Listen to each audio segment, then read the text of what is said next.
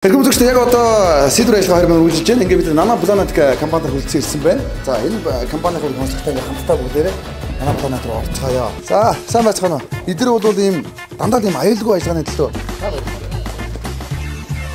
бид нар нөгөө нэг энэ Туркийн алдарт брэндийн Silver гэдэг хотын төсний хотарчлагын бүтээгдэхүүнийг энэ бэлэг хардуулаа явж байгаа.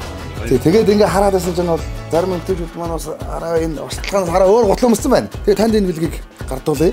Тэгээ бид нар бол нөгөө гарын доороос газ гэсэн урайтай явж байгаа. Тэр нь болохоор таавс олон хүмүүстэй харьцдаг багтай гарахтаа газ утлаа хурдан хугацаанд өнгөлөх галгаар болгох тэр бүтээгдэхүүнийг энэ бид нар хийсэн байна. Тэгээ та 9 сард юм уу 10 сарын үеэр бид нар 50 байгууллагаар бид нар явж байгаа. Тэгээ 50 байгууллагаас одоо ингээд цуглаа явуулаад та цуглаанд оролцоод гадаад тосоор аялах эрхийн бичгийн төлөө өөрсөлдөх юм байгаа. Тэгээ танай хамт олонд амжилт хүсье. Баярлалаа. Гой үйл ажиллагаа явуулж байгаа байна. Энэ гутад төсөв уусаа гэдэг.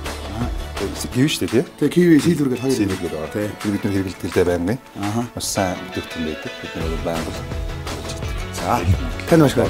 За.